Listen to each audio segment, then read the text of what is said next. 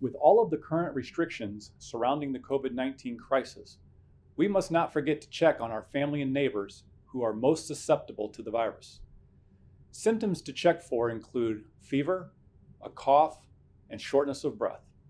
If you know someone displaying these symptoms, they need to contact their doctor or Department of Health for guidance. Let's also consider the psychological impact of no contact restrictions, especially for those who live alone. Significant periods of isolation can increase feelings of loneliness, depression, and anxiety for many people.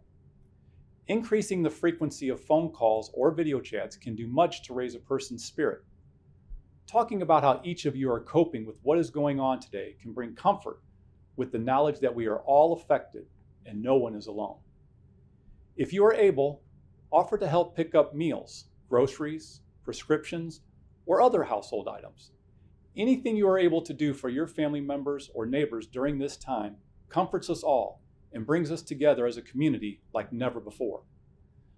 For the most current information on the coronavirus in St. Charles County, go to sccmo.org.